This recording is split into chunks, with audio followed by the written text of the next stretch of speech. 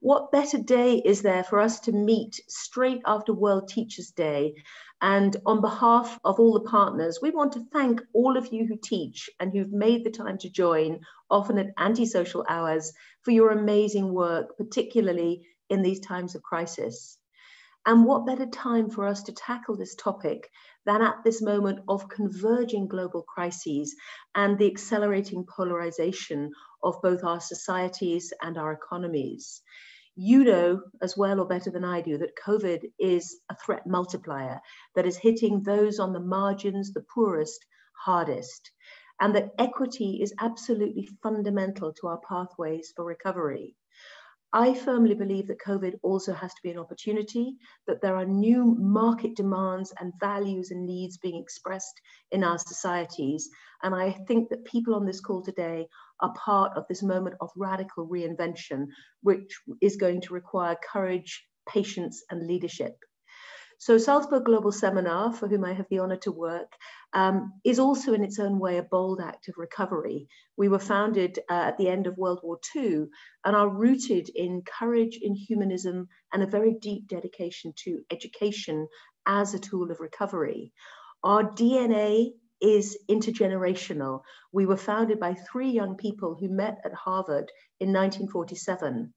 And they were inspired by the Marshall Plan for economies that were being forged by governments to think in their turn of a Marshall Plan for the mind.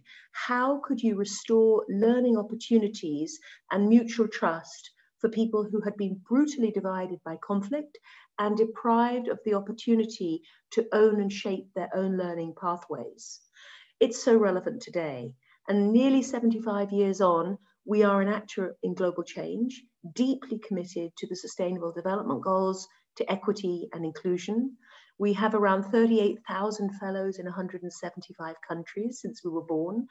And we are committed to bring non-standard and rising voices who can really think about the critical sectors for society and what kinds of new leadership, values, and approaches are essential everything that we do tries to deliver on three strategic aims to bridge divides, expand collaboration, and transform systems. And social justice cuts right across everything we do. Just a couple of examples.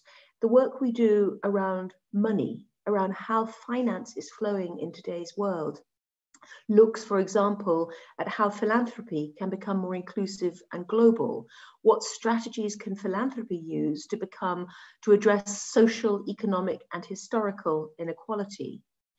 In the work we do around health, um, we work very closely with, for example, the Robert Wood Johnson Foundation to look at the role of inclusive urban development and investment for building equitable and healthy communities. And we're now beginning work on youth justice and safety, working on a major program with the MacArthur Foundation and other partners to think in a holistic way at what drives exclusion, violence, uh, implicit bias and prejudice that impedes the life chances of too many people. So these are areas of great relevance when we think forward, not just on social justice, but on how social and emotional learning is a transformative lens and driver of change. At the very heart of the way we try to work is co-creation, a multi-year, multi-stakeholder engagement to really think systemically about change. And that brings me neatly to our work on education for tomorrow's world and of course the power of partnership. Today's program looks at the intersection of social and emotional learning and social justice through the lenses of pedagogy and assessment. Now, really since 2016, we've focused on social and emotional learning. And we're very lucky that this focus has coincided with the evolution of a really courageous and like-minded alliance of partners who support and make possible Salzburg's global work in many ways. They include the Qatar Foundation International, Microsoft, and ETS. And I'm so pleased to be all together virtually today. One of the most interesting examples of impact that our social and emotional learning work has uh, helped us incubate is Karanga, the Global Alliance for Social Emotional Learning and Life Skills. And today's event is part of a week of online activities for SEL that Karanga is supporting. You can find a lot more on the website and we can put details in the chat box. Um, but I would just like to highlight that Karanga and our partners' commitment to leadership for SEL is something that makes me profoundly optimistic in these troubled times.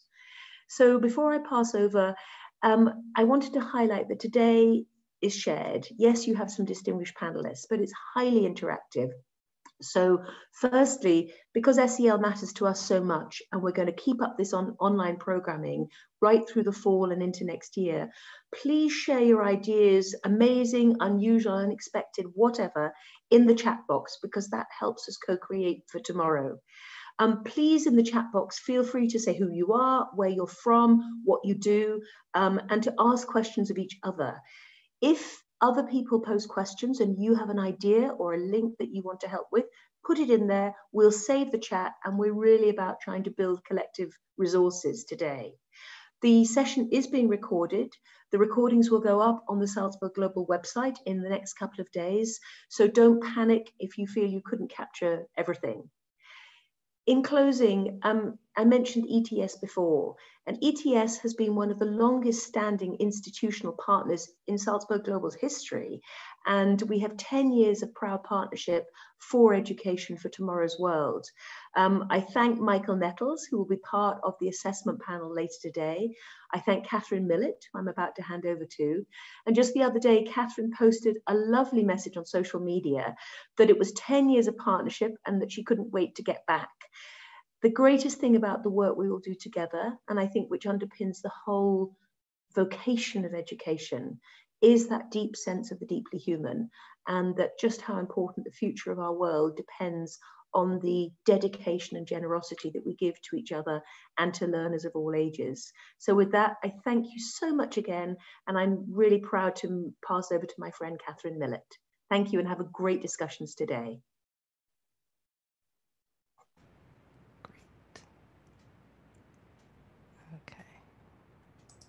Wonderful. Thank you, Clare. It's always wonderful to be with you at a Salzburg Global Seminar event, whether it's in Salzburg or now virtually. Um, well, hello, I'm Catherine Millett with ETS in Princeton, New Jersey in the United States. And on behalf of the partners, Qatar Foundation International, or QFI as we call them, Microsoft, Salzburg Global Seminar, and ETS, I am delighted to welcome you to our first virtual convening for Education for Tomorrow's World program at Salzburg Global Seminar. And as Clare said, this is our 10th anniversary with Salzburg, and we at ETS are just thrilled with the decade we've had and are excited about the decade that starts this week. It was a year ago on Saturday that my colleague Michael Nettles, who you'll hear from later, gave the opening remarks for what has become the Education for Tomorrow's World program. So some of you may be asking yourself, what binds these four organizations? A global tech company, an organization devoted to fostering a deeper understanding of the Arab world through the teaching of Arabic and its culture, an organization that convenes current and future leaders, and a global assessment company? Well, it's our respective missions and values. While our organizational approaches to working with people worldwide differ, each of our organizations values the role that education plays in helping today's and tomorrow's learners achieve their educational goals. Social and emotional learning, or SEL for shorthand, is a topic that united us, for we each acknowledge that academic skills alone are not enough to be happy and successful in school, work, and life. Imagine what can happen if every learner on the planet achieves their educational goals. I just think it would be breathtaking to witness, and I hope I do in my lifetime. So these days, one of the things that I'm trying to do more of is to see the positive side of the global pandemic. One positive is that I am at this webinar with you today, because truth be told, we probably would not have had this webinar were it not for the pandemic. You see, the partners were all planning to be in person in December with about 60 other people. But the upside is we now have the opportunity to meet colleagues from all over the world who otherwise might not have been able to travel to Salzburg to join us, due to personal commitments, the inability to actually leave the countries where they reside, or just sometimes personal emergencies. So welcome. And we are so glad, as Clare said, that you are with us today. So here are two words that I want to offer to you as the positive outcomes that I hope you will see from your participation today. And those words are community and collaboration. Community.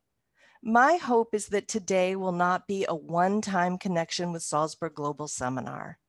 Perhaps you are like me these days.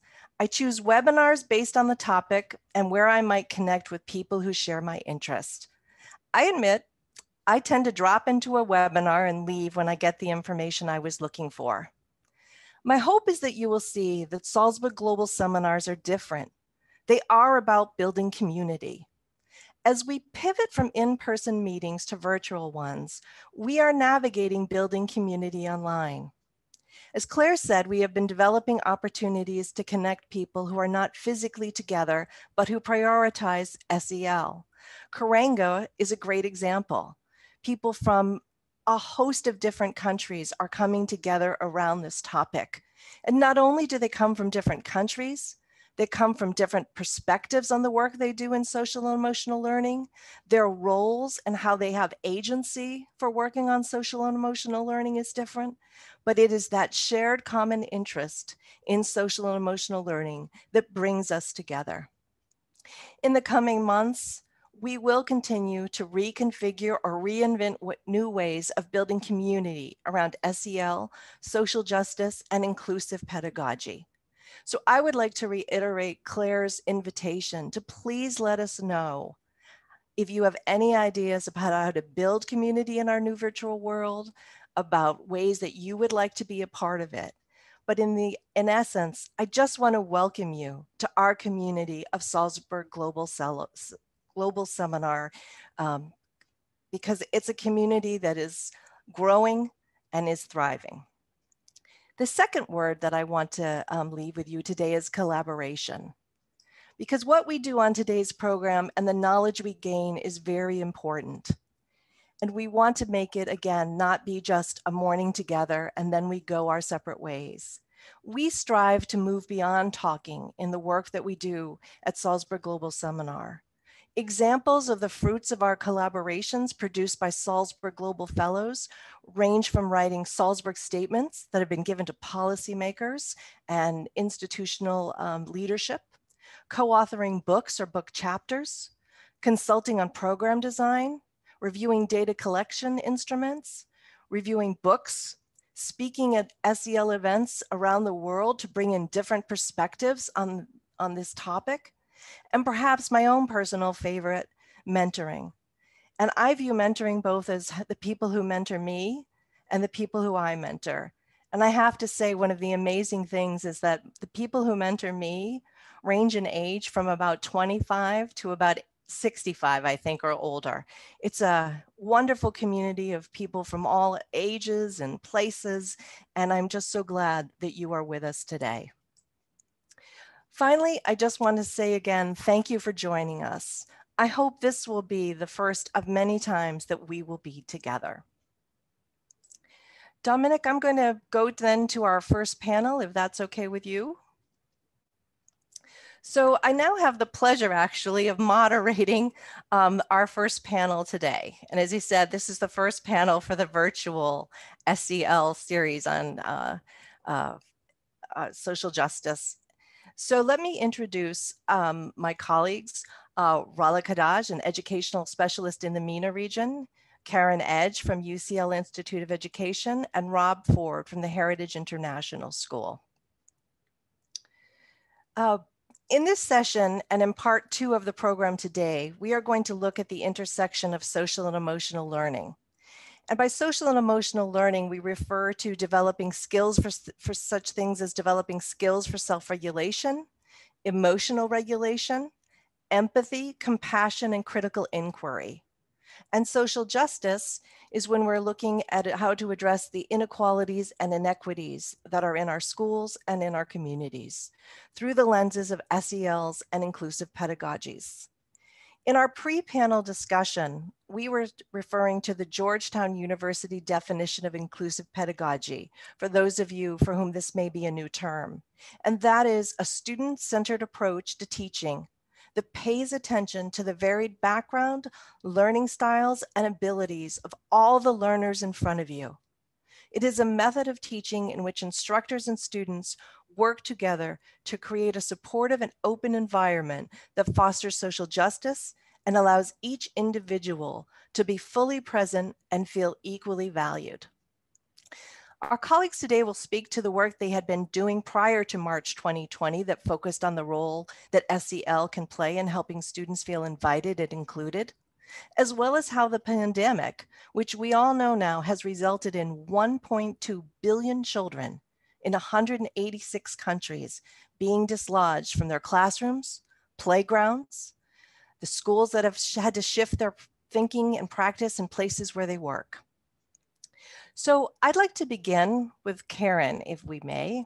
And Karen, we're going to ask you the first question. So the question we have today for you is, your focus is on tertiary education. You work with researchers and teachers in a master's leadership program in Qatar. Could you tell us about how your work to promote teachers adopting inclusive pedagogy in their classes prior to the pandemic and how you are restructuring your program with teachers now that all the traditional norms have gone? What are you learning about how we can work with teachers so they feel included and are acknowledged for the challenging times they are having in a pandemic classroom, be it virtual, in person, or hybrid? Karen, welcome. Thank you. And thank you for the invitation to join you today. So I'm coming to you from London and you're right. So one of the things that I'm doing this year is I've taken over the program leadership for our Masters in Leadership in Qatar. And it will be really interesting. So as opposed to faculty members flying into Doha and spending time face to face with our candidates, we've had to adopt a model that will be radically different. So one of the things that I teach is research methods. And usually as soon as you say you teach research methods, most of the people in the room look slightly perhaps not at ETS, but many of the teachers and uh, researchers that I work with have not really dealt with research methods in an instructional environment since they were either in secondary school or undergrad. And I usually get a group of adults who are incredibly good at what they do in their day jobs, who arrive in my classroom and now in my virtual classroom incredibly anxious about what they have to learn. There's something about research and data that can make lots of people quite nervous. It might be our dolls that still say that uh, math is difficult if you're a Barbie, but I think we've banned that one. But what I try and do, and what I've always tried to do, is is do what you've just said in terms of building community and fostering collaboration. So there's a few ground rules, and I never really thought of them in terms of being SEL ground rules. But when we start a class, traditionally face to face, there's a set of things that I would say to people. So the first thing is is that it doesn't matter to me if you're the minister of education or a first year teacher, that everyone is treated equally in class, and that your opinions matter. The second thing that I would usually say is that your participation marks are not predicated solely on your participation. They're predicated on your participation, but also your ability to elicit the participation of others. Oh. And that changes a dynamic quite quickly. And the other thing that I will do is make it very, very clear that everyone has something to contribute to research methods. So, and everybody knows how to do research already. So, we will spend a substantial amount of time at the start of any work that we do mapping out what are the skills that a great researcher or leader would need. And then we fine tune what the five or six most essential ones will be for us to work together across our learning opportunity for the 10 to 12 weeks. And then everyone has to self identify the one that they're the best at and use that to introduce themselves, but also proffer some assistance to others with their area of expertise so what's been interesting for me is understanding a bit more now there's been research that's come out that says in order for people to learn and feel safe they need to feel that 85% of what they're doing is something they know already and 15% mm. is a stretch so um, i can send around the article if that's helpful but that's one of the things that i'm holding true as we transition from what is usually a very dynamic um, process to learn about research methods together where we're face to face and I can get a really good read on who's not feeling comfortable and who's not. However, um, it's going to be different when we're dealing with it now. So, in terms of my approach with teachers and leaders, in terms of how do you create inclusive pedagogy, from the beginning, I try and model what I think that should look like. So we will talk about everything. There is no question that can go unturned or unasked. And everyone has the responsibility for caring for everyone else to make sure that they're able to do their best work what we're trying to do now is um, we, we try and approach research methods, at least I do, creating a set of bias spotters. So what we try and do, or I try and do in my classes, is make sure that when people leave my class, they're much more aware of their own bias and their own assumptions, but they're also much more able to articulate when they spot other people using their own bias, either intentionally or unintentionally, and holding other people back from progress. So this time, what we're doing is we're spending the invitations are going out today for me to spend 20 minutes with each of the individuals that I'll be working with to get to know them so they can get to know me a bit better and understand what my assumptions are.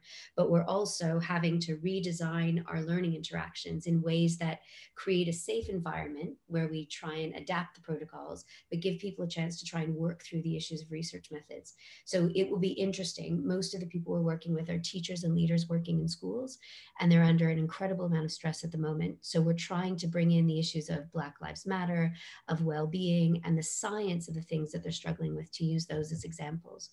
But I think for me, it's really just helping people understand that bringing your whole self to class, we will never, um, the, the other fundamental rule that I think builds inclusion in, in my classroom environments is as a grad student, I was uh, unmarried and didn't have children. And I would constantly be told, oh, you can do the work because you don't have any responsibilities. So, in addition to whether you're the minister or whether you're a first year teacher, we also have a discussion that whatever happens your life in the background, we will accept that.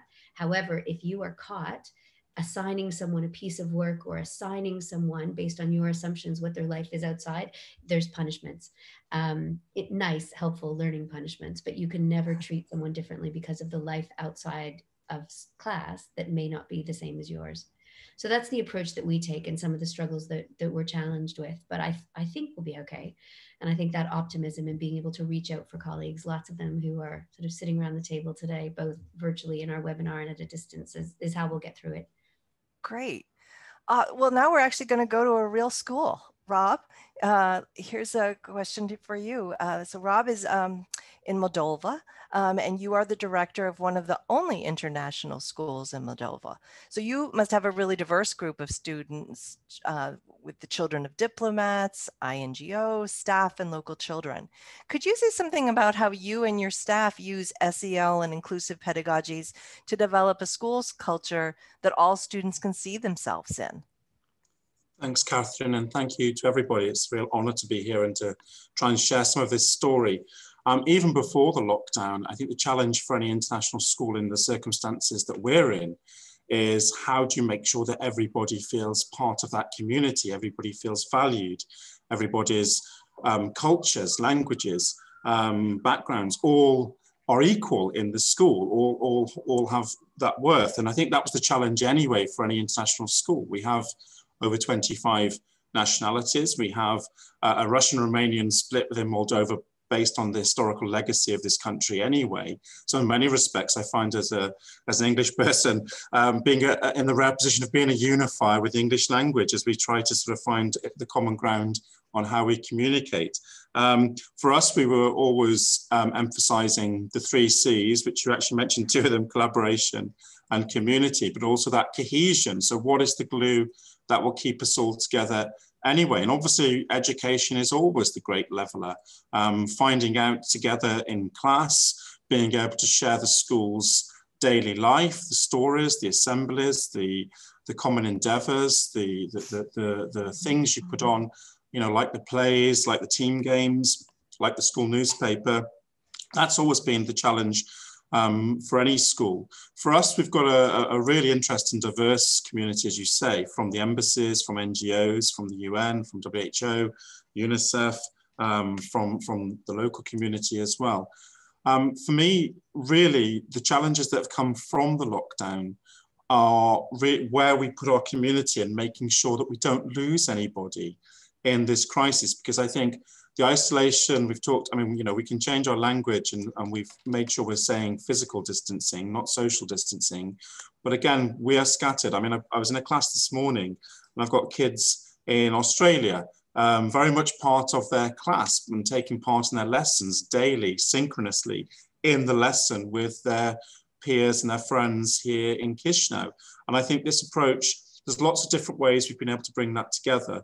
Um, I think um, the wonderful thing about the school is that my colleagues, um, I mean, every teacher right now around the world is going that extra mile, that extra kilometer, but my colleagues are really working hard to mm-hmm. ensure that there's always something common to get um, people together, that no one is left behind um, in this, and that everybody's voice has value. But, but it, is a, it is a hard task.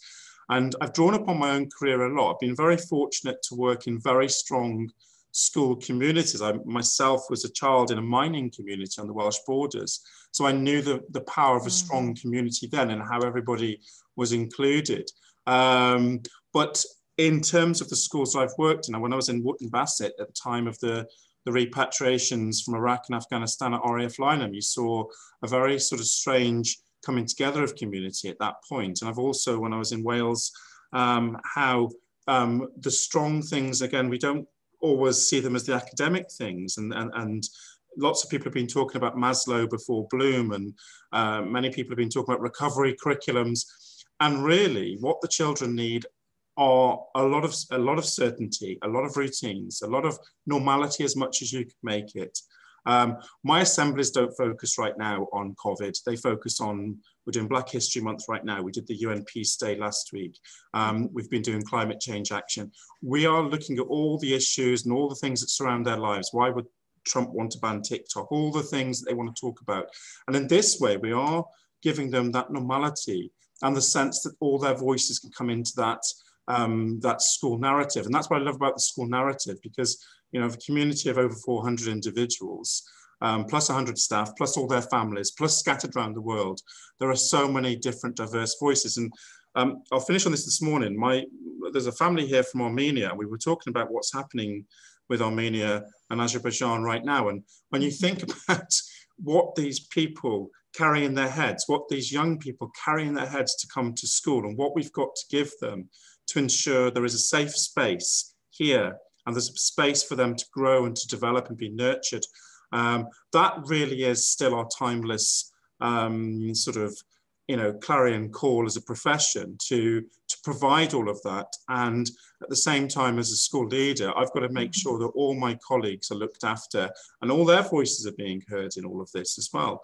Because ultimately, you know, that's how that sort of symbiotic relationship across an entire organization especially in something like a school, um, is going to be able to kind of navigate through, you know, the, this huge challenge right now. And what we see is the incredible adaptability of people, um, not to lose hope, but to continue. And I think that's where it's humbling. And you know, again, the more opportunities we provide, and children, just that, just that that greeting on their face, and and and I think I said yesterday in our pre-panel discussion, you know, when they sang George Harrison's "Here Comes the Sun" at the end of the the academic year in May, you know, I mean, there wasn't a dry eye in that the house because we knew collectively we can get through this. We can, we, we can get through this, and we can find sort of hope and optimism. And I know that in uh, in the uh, the global seminar that, uh, that, Salzburg did recently with Hattie, Hattie's talking about this golden ticket and this accelerator, you know, for what we can actually do. And I think actually we're going to come out of this stronger as communities. Um, the schools that have really invested in making sure you know they're not leaving anyone behind and that they are still making sure you know smiling at people on the on the zoom or the google meet or whatever it is making sure that there's a human being getting a human response from their teacher. I think that's the important thing not to lose sight of in all of this. Rob, thank you. That was great. And I'm going to pick up on um, two uh, word or phrases that I've heard this morning um, sense of belonging and safe space. And we're going to turn to Rolla now. So, Rolla, you're a master trainer, a consultant with schools. And in our conversation yesterday, uh, you talked about it that in your work, you consider the student and the teacher. Um, and one of the goals we know of inclusive pedagogy is to allow each individual to be fully present and feel equally valued. And you used the language and drew on your own past about that feeling that you belong. Yet we know for some students, they have experienced the evaporation of a school culture and they've seen the good glue of inclusion in schools disappear. So, could you speak to bullying and maybe in particular cyberbullying and how it might be working against students feeling included and valued and feeling um, in some instances safe in their learning environment and how inclusive pedagogy might be used as a tool to mitigate bullying. So Rolla, welcome.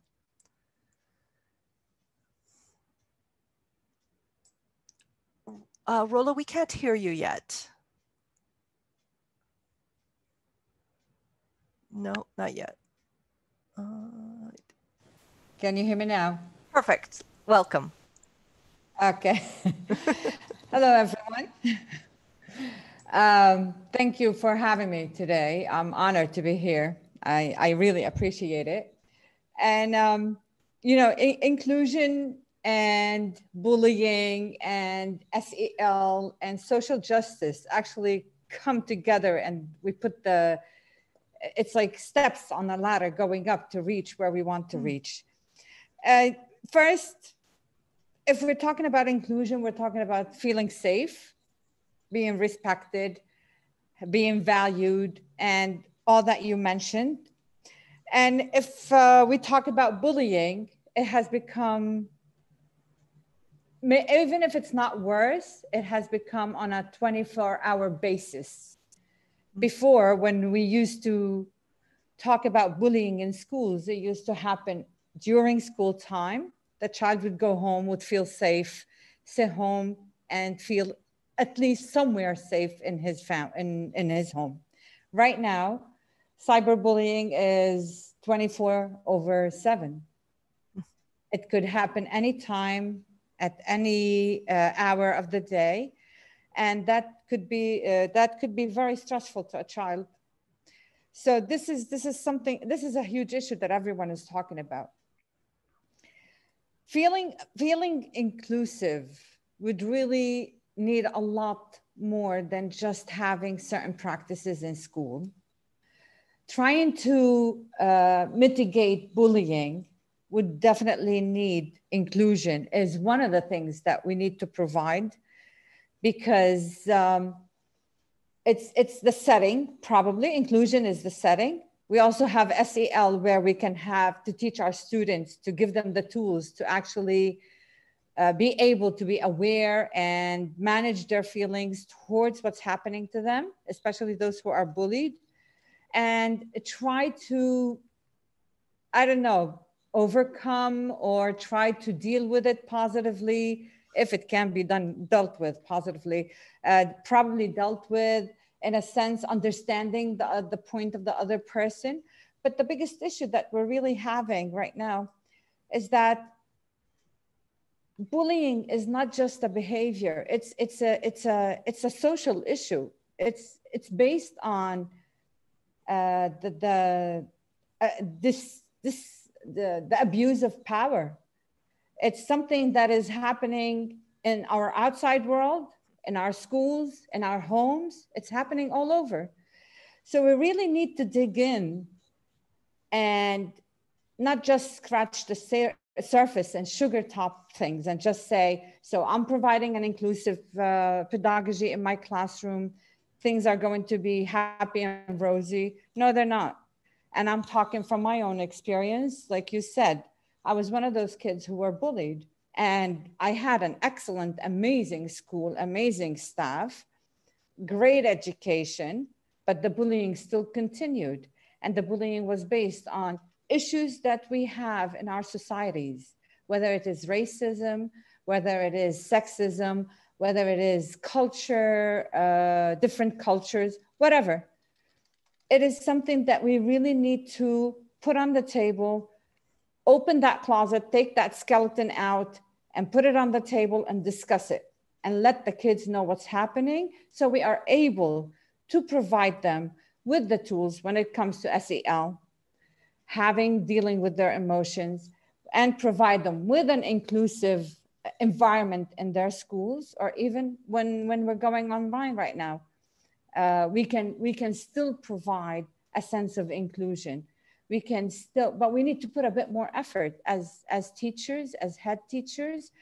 Uh, the glue for inclusion doesn't have to completely disappear but it would need more of a humane effort on our behalf and to think that this is this is our mission. It's not our it's not our job. Being teachers and and being head teachers is a true mission. It's not a job so if i put that extra effort to support and help and work with those kids and let them know that i'm here whether it is i am online with them giving them a course or not this is going to make a huge difference having one having a child know that there's one adult who's willing to listen to him and that re- research showed this that having one adult listen know that having a child know that an adult is there to listen to him mm.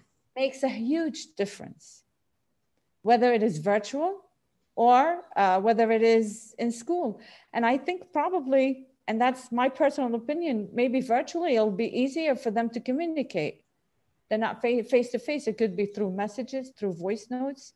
So we really need to bring it together, but we really need to as well address the main issues that we have and that we're facing and that we need to uh, bring out in the open.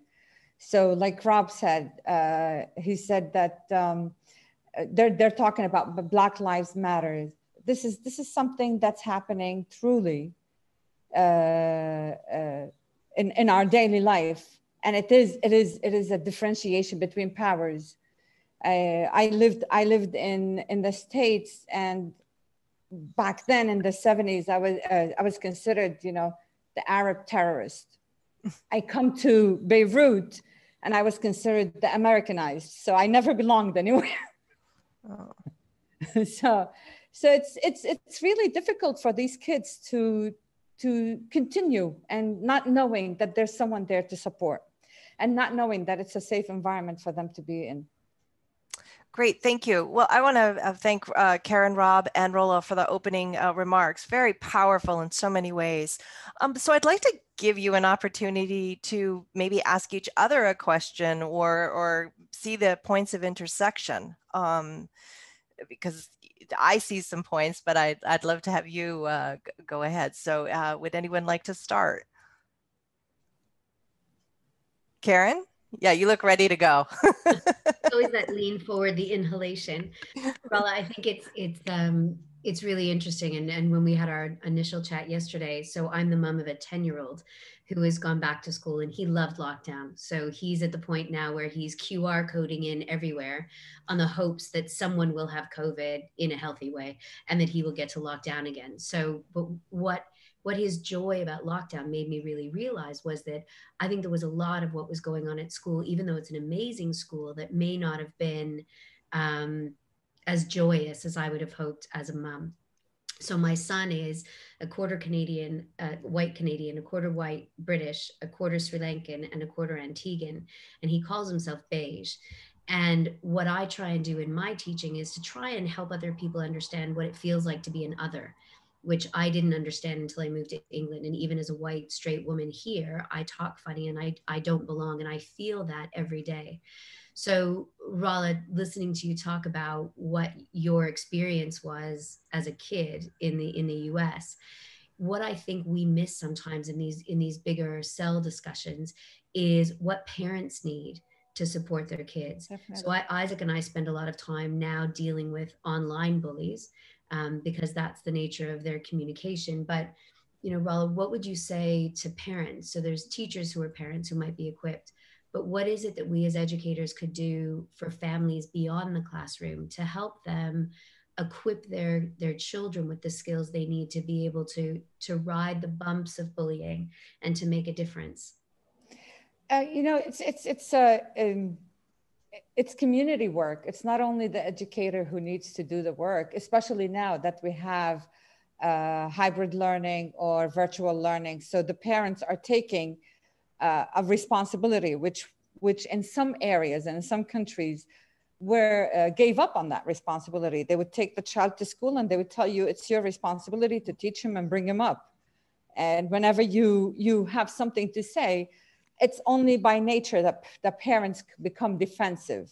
Yeah. So we really need to we really need to open up with parents and discuss these issues as well and, and set a plan together how we can make it more effective. So if, if I see, or if I am a parent and I am aware of some kind of bullying that's taking place among, the, among my kids' friends or my child or someone else, I would definitely uh, try to intervene. And this is something was not even happening in real life situations when we were meeting together and people would just ignore the fact that Rolla is being is is being bullied because if they ignore it, things will get will probably just go over, and this is part of their child life. But it's not, and this is our first. It will probably be our first step to move forward. We're in this new world where we have to work together, where we have to collaborate together, and I hope everyone realizes that, whether it is on a small community basis or on a larger uh, scale. So get the parents involved. Have them have them uh, them feel what's happening. Let them know that people are, are getting hurt. And i'm sure i am 100% sure that if we do get parents involved i'm going to have those parents who are going to say yes i was a victim as well. Yeah thanks that's helpful Rob, please. Yeah, I, I, there's two points I want to pick up on. Um, I think, first of all, what Rolla said, I think this is so true of any good strategy towards inclusion in any school, which is having those people there, the advocates, the champions, informal and formal, mostly informal is better for every child. Um, that you know, it's it, it, it, it's a terrible indictment when a child doesn't have somebody in the school they couldn't go to and, and speak to and confide in, you know, on, on sort of the administration or the adults. Um, and I think that comes back to how we're building relationships in our school. How do we see the relationships in our school?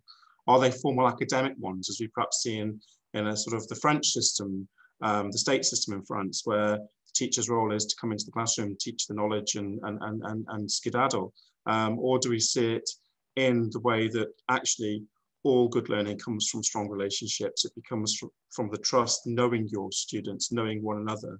Um, and I think that's an interesting point, um, especially in these times where, again, going back to what's happened when we're in a hybrid system or we're on a distance learning plan or we're sort of sort, sort of return, but we're not, that all those daily interactions that we spoke about yesterday, where you could grab your, your lunch in the canteen and sit down with a group of kids. And, and I always make a point of sitting with some of the students who perhaps aren't the most vocal, that, you know, are introverts, uh, have, have enjoyed this sort of method of learning because it's really played to their strengths. And actually some of our extroverts have found not being the sort of the center of attention or, you know, uh, uh difficult for them to cope with when, when they haven't got the daily school life.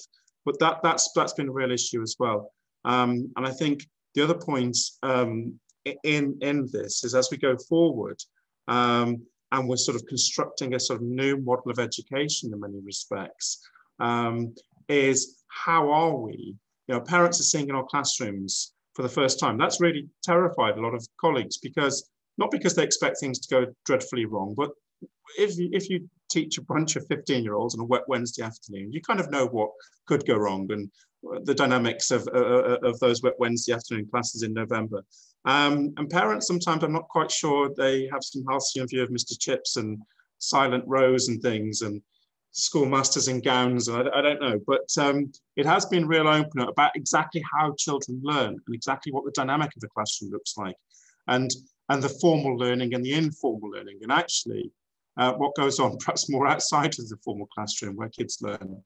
Um, and I think I, th I, think really that kaleidoscope has been shaken up. And um, as we are in, you know, at the centre of all of this is making sure children feel safe and supported, and therefore they can learn they can develop themselves and feel that they can progress and and you know all the challenges that we want to give them to to become the young people that are going to hopefully lead society better than the present generation seems to be making um, a fist of it. So um, as, we, as we are going forward, um, and again, I come back to this word adaptability. What I've seen in the profession is so much adaptability. Um, I know a colleague here who leaves Vocaroo voicemails for kids if he hasn't picked up from them for a day. It's really simple, one minute, it's a human voice. And I know the response from children is, is really good. And there are always such simple methods that we can. We had Teachers Day on Monday, which we couldn't traditionally do. And I love Eastern Europe for the way they celebrate education and, and um, but they still did it. The choir still sang. They still had get, managed to get coffee and cake. I'm sure it wasn't poisoned with COVID, but they managed to do that in a good way. And again, all these things, people then come off their pedestals and they talk more or they interact and they ask about the weekend and they ask about sort of the music they're into or the you know their favorite team or what, what what's vexing them. And we all know if we see a child in the corner that we go and spend some time with them. And i think all of these things are sort of evolving and adapting. So i am hopeful in the system but again it's not without its challenges right now. And i'll, I'll come back to what i said. I, I worry about those that perhaps are slipping through even more so than would in normal school.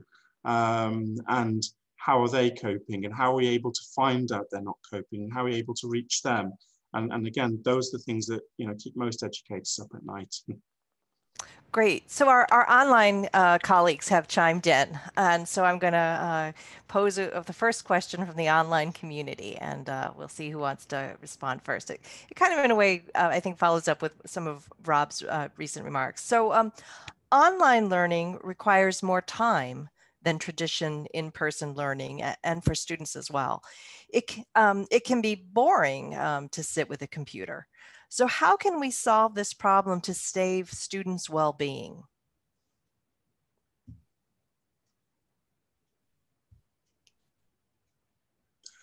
Um, it depends on the school. Um, I, the, the, learning I've seen online has been phenomenal. I mean, this is what Hattie was referring to um, the other week. Um, it really depends how you viewed this. Um, it depends if you're trying to, to deliver very traditional lessons, you know, in the normal way on camera. And um, um, what I've seen is much more collaboration. I mean, as an international school, we've always had the world into our classroom. We've connected classrooms around the world. We've been using sort of platforms to do various projects, be it on climate change or on, on civic human rights. Um, and I think I think really it's just another craft of the, of, of, the teacher. It's it's developing new pedagogy. I mean, you know, people thinking how their lessons. I watched a science lesson this morning with a with a group of children on, on online at home, and I saw children in the classroom, and they were all talking about food groups, and they were having to run to their kitchen cabinets to find uh, different boxes of food to tell them what a carbohydrate was and what a protein was. And the children in the class had a box of, and, and, it, and it, it was just a really lovely lesson, very well crafted, and everybody learning, everybody engaged. Um, I think we always think that sitting in front of a computer for seven hours is, is distance learning, and I think I think I think uh, a lot of the media have played to that, or certainly a lot of policymakers who perhaps don't understand pedagogy very well have seen that as the answer. Um, but what teachers have done is they've been able to craft, they've been able to make sure that students have actually done a lot more independent learning. It doesn't have to be mm online. I've, I've, I've, actually noticed as we talk about inclusion in, in this seminar is that teachers are, very, are able to give much more attention to those students that need it as well. And I think the control has been much better. Um, I wouldn't want to see it replace the physicality of school, but at the same time, it really has allowed good solutions to work. And again, we've got students scattered all over who can't get back to Moldova for this academic year right now. And teachers, I've got a teacher in South Africa teaching the most amazing science lessons online and there are always ways to to, to find this. I, I think sort of you know almost Forrest Gump. Boring is what boring does, and it, it you know it's. I've seen some teachers who in the classroom uh, uh, uh, have, have sort of bombed on a, a, sort of Tuesday afternoon because they've tried too much or they've. It really has just made us think about our teaching, and again, it's it's preparation and it's making sure that um, you understand your classes. I think the only thing that's really the one thing that perhaps unites most educators is that that idea that the parent is now in the classroom, and that really it's not a bad thing personally. I, I think actually, again, when we talk about partnerships for, for young people, school and parent partnerships, when they're at their strongest, can really, really nurture and develop um, young people. But again, those conversations can help, you know, my wife was helicopter parenting all my kids on the DLP here for three months until I I had to tell her to kind of leave them to it in their bedrooms and just let them get on with it. You wouldn't do this in school, and and she, she did eventually. uh, Thank you. I, uh, yeah, uh, you know what it is. It's um, it's the the the concept of changing mindsets. because we have whether parents attending the class or whether the teacher teaching the traditional way it's not going to happen. It's not going to it's not the, the learning is not going to take place. The student uh, definitely it's not going to take place. If it's just going to be lecturing and traditional teaching the way we used to do it in in in school which in any way in school was not working properly. So we really need to start having an open mindset concerning how i'm going to give my class uh, online how to work how can i make my students active. It's not about just it's really it is it is very important for preparation. It is very important for the teacher to know that we have moved to mars and we no longer are on earth and we have to recreate the way we teach and learn. Karen i'm wondering if from the work you do um, maybe what you're seeing is another a word that i keep um, hearing a lot in uh, covid is acceleration we'd been thinking about how we change things, but this has accelerated what we do. And so I wonder if your work with teachers has maybe accelerated the um, the, the actually doing of changing teaching methods or adopting things that people were talking about, but maybe didn't feel the, the timing was right. Yeah, I think it also accelerated us getting a puppy. So this is COVID. yes. um, she's she's she will be a global puppy, but she just needed a cuddle. So we will. I, I, can answer, but this is Coco and I answering. Um, I, I think the the acceleration is something that's that I've felt. And just before lockdown, I was doing a keynote in Ireland and then in Northern England. And I had seen what was coming. I was supposed to, I'm a visiting professor in, in Shanghai at Shanghai Normal. And then we had friends coming from Italy. So we were watching COVID roll and sort of seeing what was coming. And one of the things I said in both those keynotes, that I think people thought I was crazy at the time, was that you, I, I don't toss authenticity around lightly but one of the things that I had said to all the leaders in the room was that this will force you to lead in a way that is different than you've led in the past. And even if you've led with your whole self, with your family, with your puppy, with your hobbies, with your sort of compassion and empathy, COVID and what I believe is about to happen will require you to ratchet that up to a degree that you didn't think was both possible or desirable. And what I've seen is that um, it's it's really difficult. So Rob was saying that he's got sort of the confluence of countries, and Rolla has sort of come from two countries, and I'm also from two countries. And I think that every country has their own uh, way of dealing with feelings and with empathy and compassion. In England, we're quite um, stiff upper lippy, I would refer to it at the moment. And I think that the acceleration of putting your feelings in the front has has really started to happen but how much you're able to do that is often constrained by the accountability infrastructure you're working in.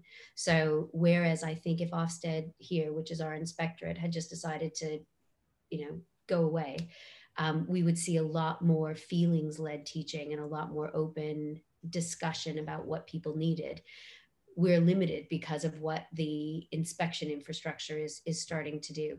So one of the things that I've started to do with all the groups of leaders and teachers that I I work with is that we start pretty much um, not with meditation. My son gave some advice to a, someone doing a keynote for heads in England and suggested that head teachers need to take care of themselves because they'll have their head in it all the time and maybe meditation or yoga would be good. Um, but what we do is I've developed um, a, what we're calling the pandemic privilege audit which walks people through in a step by step wise way, just thinking a little bit about what their experience during the pandemic has been and where they lived and what have they had access to and have has their family lost income? Has it been unsafe? Um, and walks you through both from a, a, personal an economic a geographical how far away from you from your family but it's to try and set the the standard that everyone has had a really difficult time and your difficult time may not look like my difficult time but we have to move away from judgment and just meet people where they are. So i think there's an opportunity to accelerate how we're relating to people um, and and holding that space not to judge but it's it's how do we let each other do that and how do we equip each other to understand that for so many of us who feel like we've done okay in the pandemic there's a lot of guilt associated with that. So for so many of my friends, I'm heartbroken that I can't see my family on the other side of the ocean. I cried on Sunday night, and it was it was not a pretty cry. Um, but I know that for some of my friends who can see their families, sometimes I just hate them. And and finding that way for us to both love and and hate and understand without mm-hmm. judgment is is the space for accelerating our practice and i think a lot of teachers that i've seen are actually are able to do that. They're putting things to the side. My son's class is sewing a lot and he keeps coming home saying like yesterday he he sewed the canadian flag and he does a wicked cross stitch. It's sick yeah.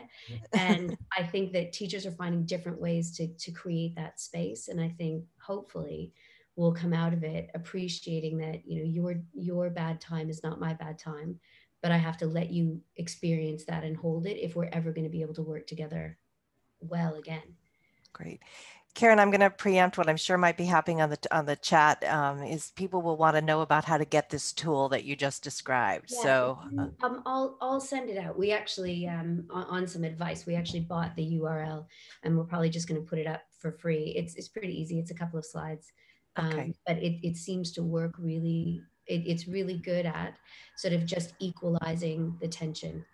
Right. Good. Uh, so we have another question that I'd like to uh, pose to um, the, the group. Um, and this says, um, it's important support to support those children who are being bullied. But how do teachers, administrators, and community members deal with the bullies and their parents? Can I, can I give a quick answer to this? if, sure. if, if, if, you were to ask my 10 year old, he would say, My mom will just open a can of whoop ass. um, so we we've had an incident with a with an unnamed child. And um, one of the things that we're trying to do as parents and i i wish i'm a governor at my son's school and i'm going to recommend to them that one of the things that we've tried to do when there's bullying is to stop and ask the question why might the bully be doing this right? What's going on in their life at the moment in their house in the pandemic that might make them feel that acting in this way is appropriate? Um, and that's given us a lot of space to have the conversation. And then i have helped my son reply to the bully. And when that hasn't been successful i just text the mom with a screenshot and say this is what's going on. I have no idea why. Is there anything you need? Can we be helpful? But this behavior isn't really helpful at the moment. But i wish our schools were giving sort of step by step guidance for parents about how do you do that in a way that won't break the community. So I don't know if Rolla or, or Rob have solutions, but if anyone has them, I'd be happy to take them because opening a can of whoop ass is not always the best option. uh, Rob, why don't we go to you and then we'll, we'll have let Rolla um, be the last respondent since this is the topic that's been um, uh, present in her work. Sure. Um, I mean, there is no easy answer. Rolla will tell you this, there isn't a model you know, that you could say every school followed this. And I mean, we, we, unfortunately, when we look at human nature, we see it in our in our top leaders using these very tactics. And we saw that in a presidential debate the other week, uh, which was a great example to set to young people across the world on how we, you know, have dialogue and we treat each other. And I think that really is the sort of the the echo chamber we're in, isn't it? Especially the anger of some of our young people and some of our parents. I have to say here, um, as a school community, I've found that parental involvement seems to be still have that strength that's needed to, to bring young people together if there are issues. And there are always going to be issues, and, and there are always going to be people that um, you know need um, to be able to be spoken with, and, and, and somehow, as, as Karen just said now, to try and get behind so much of those issues um, that, that affect young people nine times out of ten, you know, we, we know they're solvable. It's it, it, it, they're, they're small things that have been allowed to manifest. Or, but I have to say that we've got a very good psychologist here, and I have uh, again, when you look at the sort of the schools that have invested in those kind of services for young people, and they haven't just put all their money into sort of you know big academic sort of salaries. They've actually invested in support services within the schools, like a school counselor, school psychologist. Um, and here we've got a very good system of being able to kind of, you know, show that the behavior isn't acceptable in the community, but also not just leave it at that, but able to kind of, you know, bring parents in, bring friendship groups in. And one of the issues that we have in COVID, of course, is if you're, you're operating in isolation bubbles, it's often hard for kids to get away from sometimes some of the very people that driving them crazy and winding them up. And, and I think we've got to be more mindful of that now as well, that our children are having very limited experiences with who they come into contact with, with inside the school itself. Um, So, I mean, unfortunately, there is, there, there's, there's no easy answer. Um, my own daughter, who's just started secondary school, had some boy.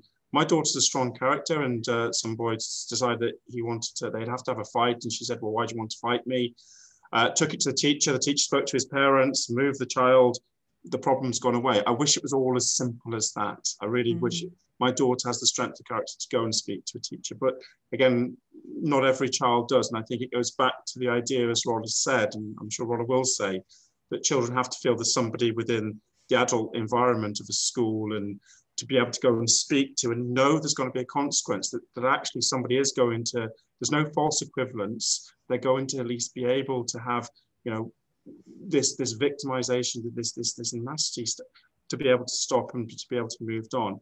And i think um, again the only thing i think is different in this school than i've experienced in other schools as a school leader is all the parents are, are very very good at this. And, and actually all the parents the children seem to still be a bit frightened of their parents getting involved. It's one of the few cards I've got left to play in a school. So it is like, I will phone your dad, or, you know, um, is your mother in the country right now? So what would your dad say?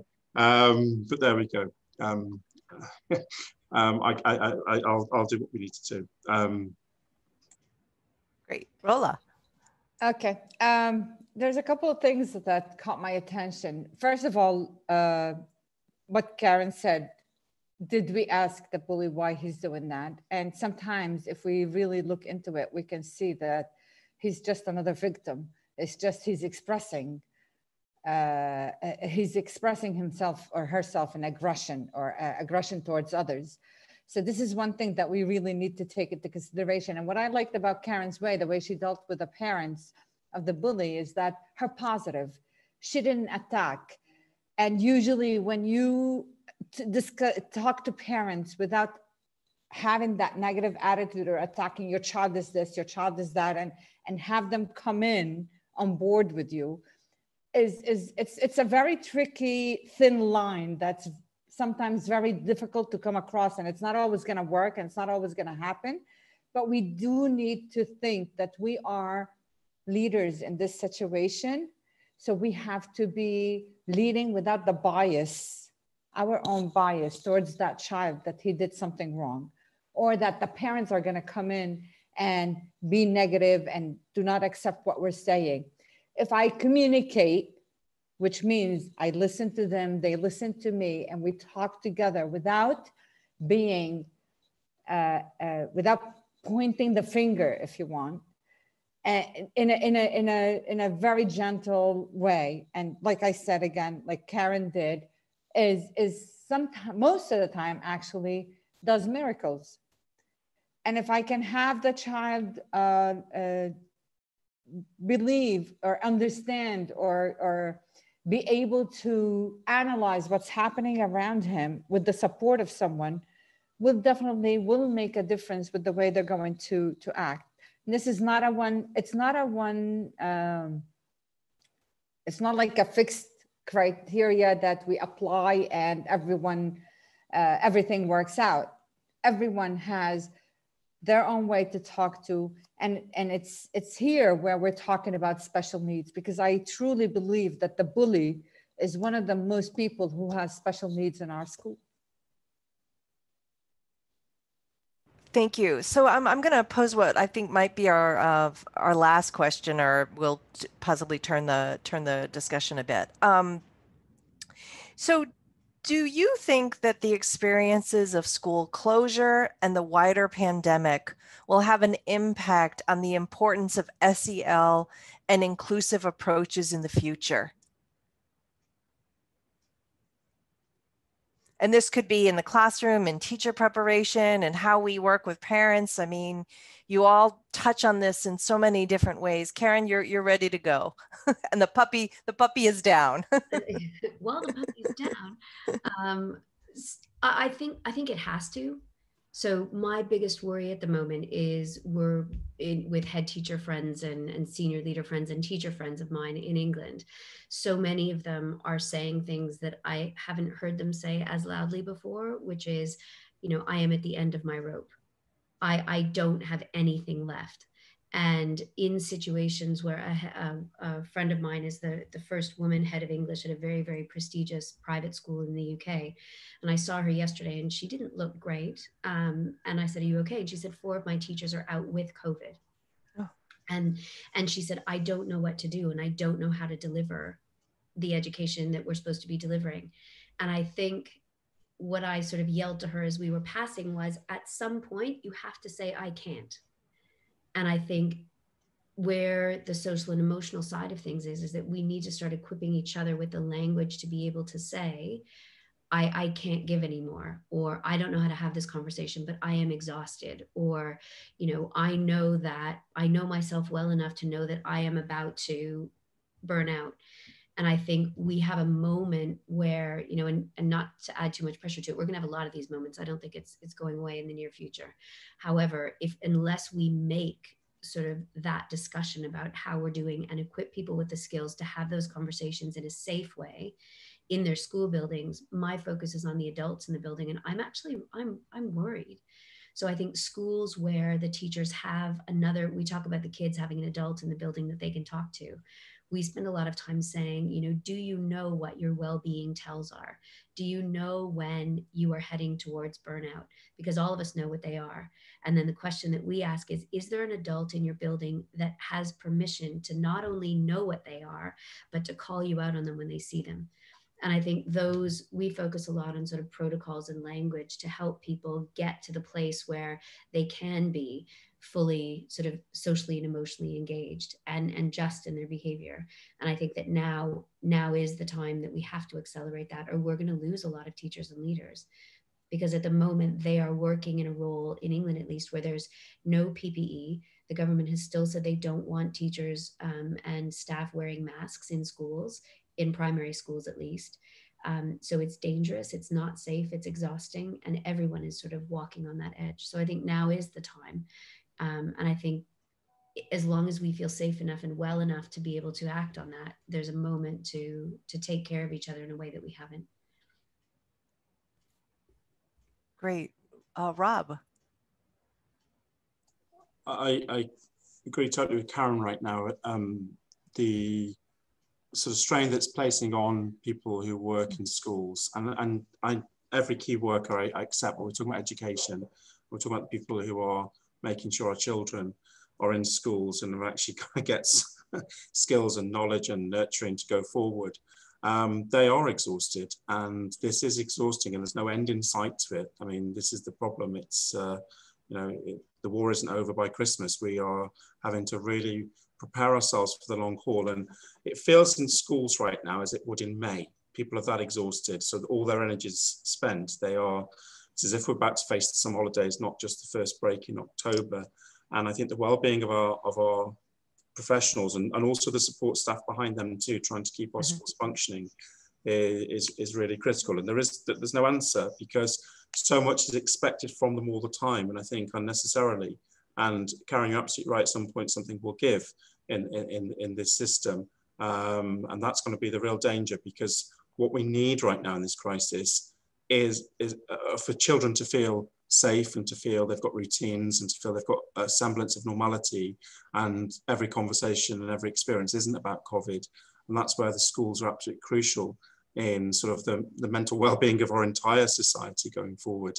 Um, in terms of um, the impact on SEL for the future, um, I think it has actually changed the way, I mean, to, to, to cancel examinations in the summer I mean, I really feel for the generation of 2020. My own niece is 18 and is now stuck in the halls of residence, having had her A levels cancelled and then her grades, you know, messed around with, and now she's paying money to sit in the halls of residence, um, receiving online lessons up until Christmas. I mean, it is just it, it, it's just bonkers the, the approach that's been taken um, by by governments. Um, but in terms of where we are uh, in, of SEL, you know, we saw in September the absolute joy of physically being back together, um, no matter how short-lived that was, because you know we've got cases here. Um, we, I never thought I would sort of know how to live with it, but, but, but we did. We found a way of adapting. In fact, I've got two teachers who've just come back, um, tested negative. They've had their time, um, and everyone's just saying, well, maybe we'll all catch it, and maybe we'll have to just you know, um, show how we, we, deal with it. But I, I think um, it's it's really you took that mindset shift, Rolla, and I think for the first time we've questioned in education, you know, in some of the systems where it is very, you know, teach the test and exam focused, we really have had that drawn sharply into our sort of, you know, our main view of whether that really is the purpose of schools and whether that should be the focus right now. Now that's been an interesting moment to see people change on this and you know to go back to the idea of, of, of sort of schools being way more um, than being exams factory and maybe that's a good moment for the future. Um, and also different ways people are developing and different ways people are learning. Um, and maybe that's where you know we'll find some I'm, I'm, not sure it's a golden ticket as Hattie described. I, I, think a lot of people felt not slightly glib but um, and, and I could see you know why John Hattie would say that. But right now it's a kind of survival and to get us through and I think that's how most school leaders and school communities are, are viewing this now they've, they've got to somehow get us through this we know that it won't be forever and we've got to mitigate the very worst against this but I, I you know we are all working together. I, I, think that's the only strength I will say. The way that my parents have been here and the school community here. I mean, I'm really fortunate. The head of WHO countries, the kids come here, and so does the head of the UN. They've been invaluable in the way that they've given their support and their help. And I think we've all found in our communities the really good stuff. I mean, you know, that that that that, that shows us the human spirit at its best and not at its worst. And I think, you know, we've got to go out there always, game faces on. That's that's that's the the job lot of an educator, and give them hope no matter what's going on in you know our backgrounds, our lives, and that's that's tough. But you know what? We know that when we close the door and we're talking about some wonderful book or some period of history, or there's a lovely debate going on, or there's a science lesson going on, and all the kids and the smells and the sights and the noises, we know that we can we can find the sort of the oasis of learning that will keep you know us focused and fixed even in the in, in the sort of the worst of days ahead. So. Well one of the worst job parts of being the moderator is having to bring a conversation to the end. Um, i've forgotten our time signal so I want to thank our panelists today, Karen, Rob, Rolla. What a great session. Um, I am thrilled that you all were with me to have our first session is it what I said is the first virtual webinar for Education for Tomorrow's World. I also want to really give a shout out to the Salzburg Global team, to Clare, Dominic, and Astrid for making this morning possible. They have been amazing and always are. And I want to thank all of you for joining us this morning. We appreciate you choosing to spend time with us and I want to quote Desmond Tutu when I ask that you do your little part of good where you are, because it's those little bits of good together that overwhelm the world. So thank you. We're going to ask that you take a 15 minute break, maybe do stretch, do a yoga pose, get a cup of coffee, but rejoin with us at 8.30. So thank you. It's been a pleasure to be with you all this morning. Thanks, everyone. Thank you so much. Have a good day. Thank you. Thank you.